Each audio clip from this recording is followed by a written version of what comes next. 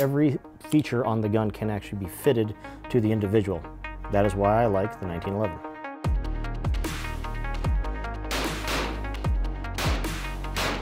I am from a little town called Monument, Colorado, and I'm a gunsmith here.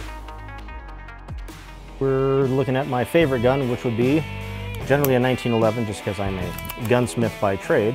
1911s are generally one of those things that we will always uh, enjoy quite a bit. I've had this gun for about three and a half years now, and it's run a lot. We've actually had it engraved because it is very, very, very accurate and very, very useful. Let's take a look at a base model, and then we'll go ahead and compare it to one that's been worked on a bit. Started life as what we call a Springfield TRP operator, produced in Geneseo, Illinois. Uh, the first of models were built by a gentleman named John Moses Browning, who was more or less God in the gun industry. He's actually produced many, many firearms. This is just one that's been around for a long period of time.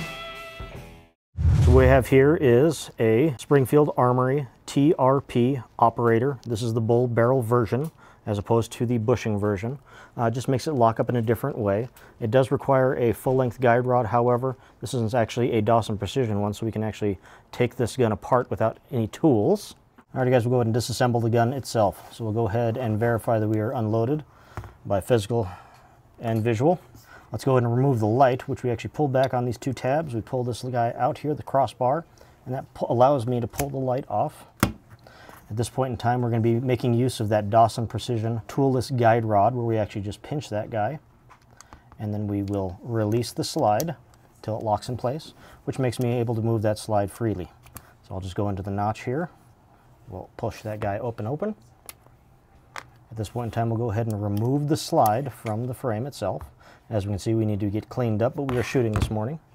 Also, we can go ahead and pull that barrel and also the toolless guide rod out of the actual unit itself. So now we can see that monster bull barrel that we flush cut and crowned, along with our disassembled slide, frame, slide stop, and light.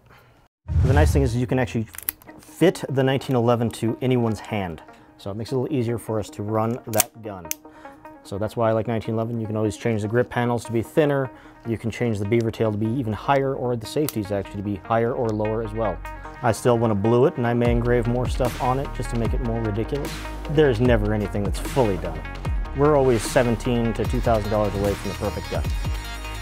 I'm Bubz Barrera and this is my favorite gun.